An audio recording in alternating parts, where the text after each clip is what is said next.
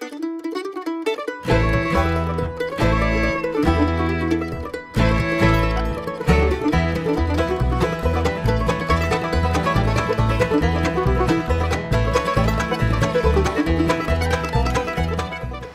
is the end of a four-year research project following Apollo the rat snake here in this beautiful forest. Um, and it is time to release Apollo where he was last discovered, right up here on these rafters on the front porch of this home uh, here in the forest where we found Apollo several times over the last four years. Inside the wall, downstairs in the bathroom, if you remember, if you've been following the project. And uh, so we found him here about a month ago, and he had a huge squirrel in his stomach, uh, or some kind of a large animal, maybe a rat. And he had to digest that for several weeks. Then we took him to the veterinarian to have his radio transmitter removed. And then he recovered, and now it's time to release him back at the exact location where he was found. Uh, the way this is going to play out is I'm going to ask my assistant here in a minute to bring the snake over. I'm going to look at the snake's incision. If I determine that we need to remove the stitches, I'll go ahead and do that. If he needs more time, I'll leave the stitches in and they'll dissolve over time on their own. Um, and then we will release the snake right up here. And then I'm going to try to feed him some mice to give him a parting meal and give him a little boost of energy uh, as he reacclimates to his home range. So let's go ahead and do it. All right, bring the snake over. Try to untie my knot here. Put your hands under there, please, just to kind of hold him up. Now, Apollo is a wild snake, but, um, and he's friendly, fairly friendly for a wild rat snake. But there's always the chance he might not like what's happening and might give us a bite. Luckily, he's non-venomous, and that is harmless. I'm going to actually check his stitches while he's in the bag, so that'll kind of help protect us a little bit. He's not liking the bag. All right, where is the incision? Come on, really, really, really? Okay, here it is.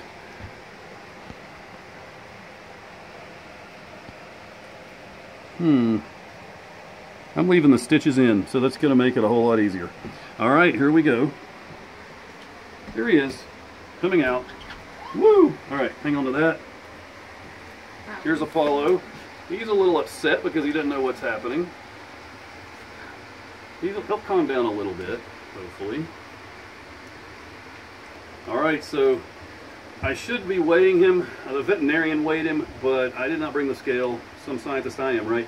So I'm not going to be weighing him as I release him, and this is the last time we will see him um, in the official sense. We may actually get to see him again occasionally as he patrols around on campus um, because he ranges far and wide over this campus where he lives in this deep, beautiful forest, and uh, spends a lot of time in several of these old buildings, uh, ridding them of rat and mice infestations. That's why he was here. And so let's let Apollo go and see what happens.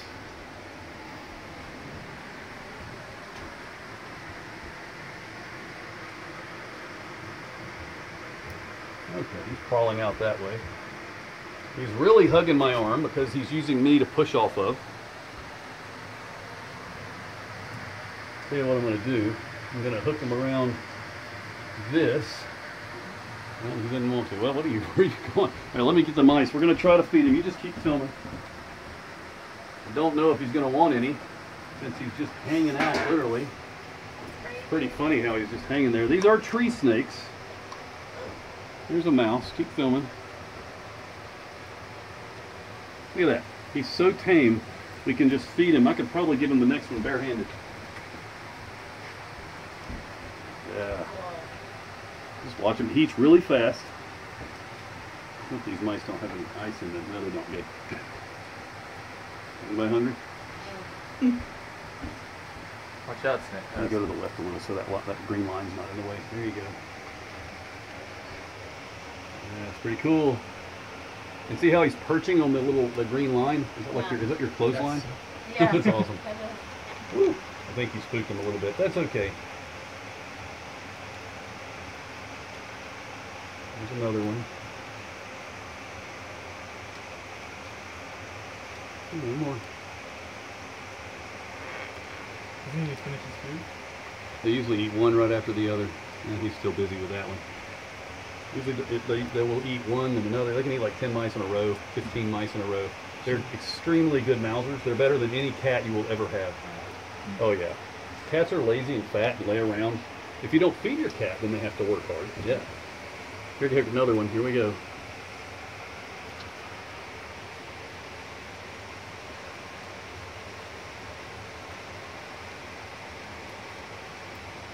Hand feeding him out. A snake. How cool is that? Hand feeding a wild snake. Wow. The next one I'll feed him. I'm gonna try to get in a picture. How about that? Be kind of fun. Hmm?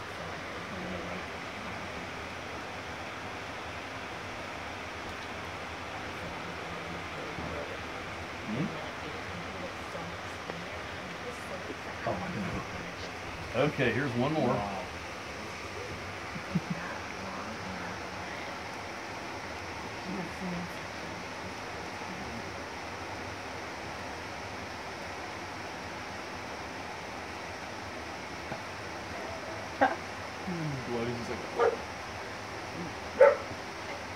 All right, and that's the last mouse I'm going to give him. I don't want to overdo it. I want him to have just a little, kind of a small meal um, to give him a good boost before he makes his way back into the house or the forest, wherever he chooses to go. Uh, it's possible he will crawl back into some of the inner recesses of the inner the walls and the ceiling in the attic, um, or he might decide to make his way out into the woods. Let's just watch and see. Come around here. Look at this. Oh. If you want to, if you want to be in the film and get a good straight on view, that's really cool. Go right up close. There you go. That's good. Yeah. Yeah, don't push it too much or it'll start to focus on that spot. There we go.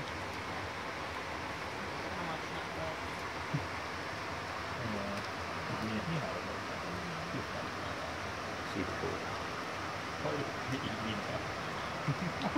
Now, once he swallows that, he should start moving off. We'll see what he does. Because they don't really like to be too close to humans. Now, here's what I think's going to happen. He just ate three mice. It's been a little rainy over the last few day, uh, few hours, and it's, so it's going to probably be a lot cooler tonight. So he's probably going to go down into the house and then find the warmest spot, which is downstairs. There's a downstairs bathroom. In that bathroom, there are hot water pipes in the wall. And that is a really good place to go if you want to thermoregulate to digest your food. And I'm having a feeling he might go down there, but there's no way to know for sure unless you get a transmitter in him. And since we removed the transmitter, we won't know. It's all up to Apollo. What's he gonna do? What are you gonna do, Apollo?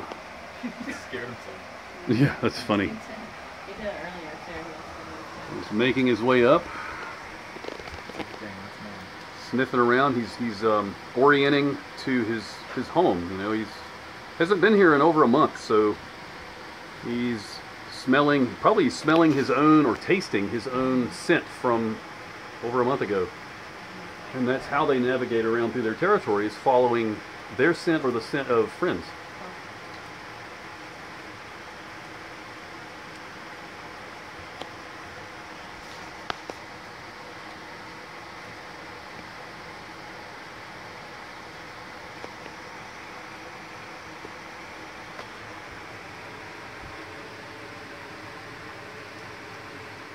There's a close-up of the incision with the uh, sutures.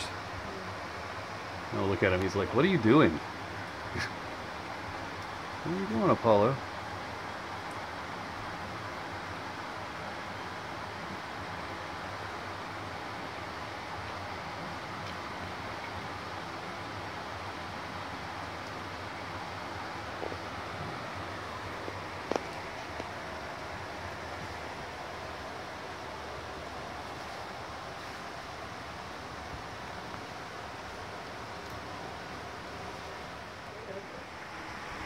What? What were you gonna say? Why'd you say it now? This is literally where he was when I Exactly right there. Except for his head was on this side and his, his tail was on that side. Yeah, he's remembering. That's what he's doing. He's following his scent. He's like, hey, this is where I, I'm going to pick up right where I left off. And he might have been trailing a female. Mm. He might have been trailing a male that he was going to try to defeat out of his territory. Or he, most likely, though, since he had a big full belly, he was just going to crawl downstairs and sit on the hot water pipes. Yeah, he was not going anywhere. he was not going anywhere. So fat. Yep, I remember it was miserably fat. Yeah. I was worried he was going to regurgitate that food item because Oh, often sorry. when you catch a snake that's just eaten, they'll regurgitate just you know because of the stress. But he didn't. He digested it, and then about two weeks later, there was a massive pile of poop. Wow. Nice. There he goes.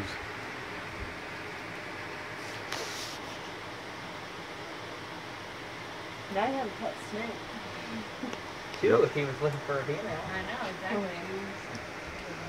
Now his name is Apollo. If anybody's wondering why we call him Apollo, because he was found on the anniversary of the first moon landing, Apollo 13. Oh, I mean Apollo 11. Apollo 13. Because he was sent into space. Yeah. Now he's back. The snake was sent to the moon. Look how he's stretched around there. Finally got his tail up. Yep. He's just chilling, looking at me. What's up? And he might stay there for a while. He looks a lot different right now than when I saw him. He's so fat. He hmm. Super cool. There's a lot of tongue action going on with that. He's really checking things out. Sniffing, sniffing. Yep, he knows where he is. He's like, I got some food in my belly. I'm back home. The aliens let me go. And now I can go on about my life. And hopefully, I will never see these crazy, smelly human aliens again. Offensive. Offensive, yeah. So, thank you for joining me over all these years tracking these wonderful creatures the black rat snakes, the box turtles, and the timber rattlesnakes. Thank you for following me. Thank, thank you for coming along and learning alongside of me. Um, but now it's time to stop tracking the reptiles and let them go back to their habitat and live in peace. It's also time to bring their story to you. So that is why I'm going to concentrate now over the next few months um, on making, on writing their story down. And then I will make it available to all of you.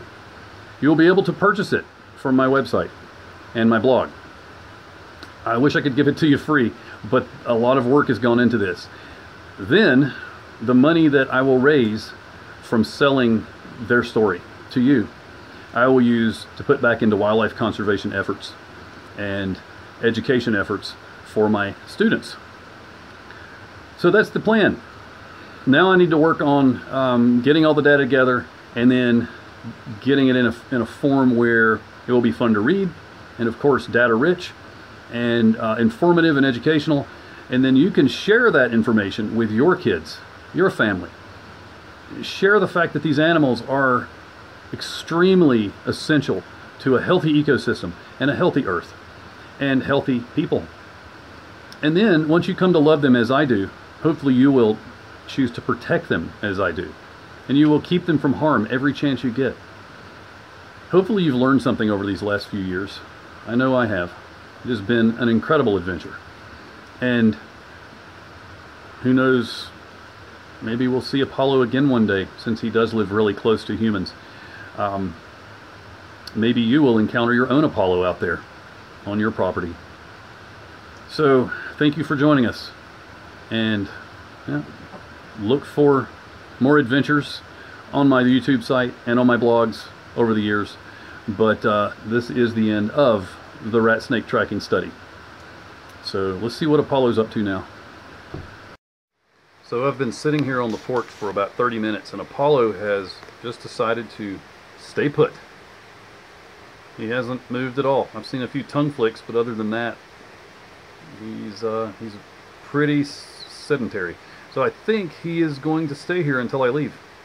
I think he just senses me and knows that uh, it's safer to be very still. So I'm going to leave him alone. Maybe I'll see him again one day. But that's that. Bye, Apollo. Last look.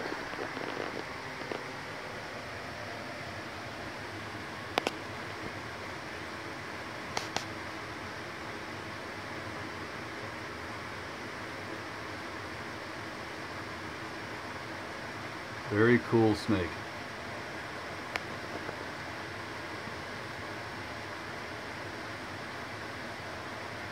We'll leave you alone, little guy. Just in case you're wondering what Apollo's house looks like, well, this is it. Not that bad for a wild black snake or a wild person.